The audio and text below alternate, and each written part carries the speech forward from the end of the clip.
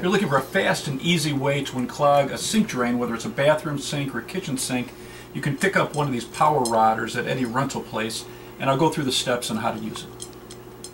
So the first step is you want to unscrew the nuts that hold the P-trap together, and I'm going to take off the trap itself and also this wall tube going into the main drain.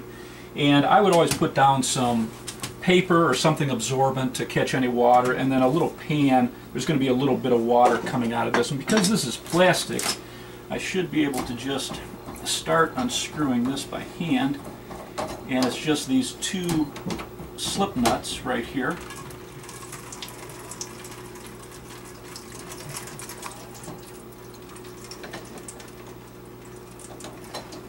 And then this is just going to drop straight off like that. And then I'm going to take an adjustable pliers, and I can either use a large adjustable pliers or a pipe wrench on this back nut. And this is going into the wall. And we're just going to turn this counterclockwise. And that's going to free up this wall tube. And now, so it's, and actually you can see a little bit of buildup right here, and it's all that soap and grease and food can build up and really cause a clog. So I'll pull this out first and I'm, I'm also going to get this little extension. There's a small extension pipe right here that uh, is going to be in our way. So it's that easy to remove the pipe and now we'll go after it with the rodder.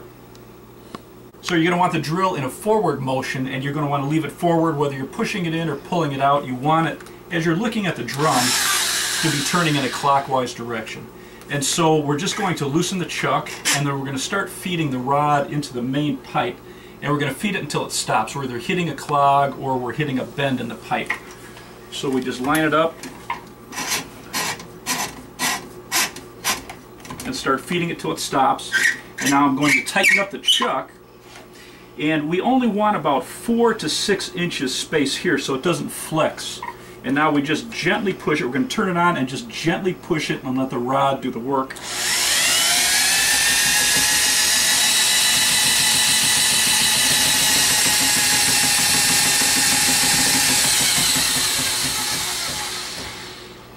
And then we're going to loosen the chuck again. And then feed it, and right there we're hitting something. So we move just four or six inches, and now we're going to lock it down again, and we're going to feed it again.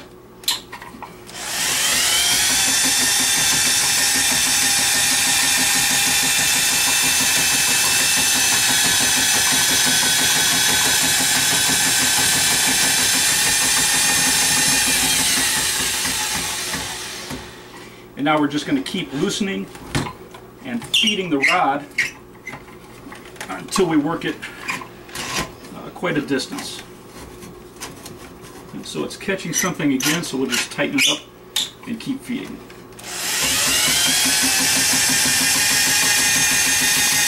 As you feed this into your line, you may feel it break free to your main drain and it gets very loose, very easy to push, or you use the entire rod. And it's going to break free and, and loosen anything in the pipe all the way down. And then once you've rodded this, it's just a matter of loosening the chuck and then slowly pulling it back. And if it doesn't pull easily by hand, then what you can do is tighten that rod and then slowly pull it, again keeping the drill in a forward motion. But that's all there is to it. It's very easy to unclog a drain, whether you have grease or food, any type of hard buildup, this will break right through it. So excellent tool, you can pick this up at any rental place. And if you're in the Chicago area, I use Jack's Rental. They do an excellent job, and I'll put their information underneath the video.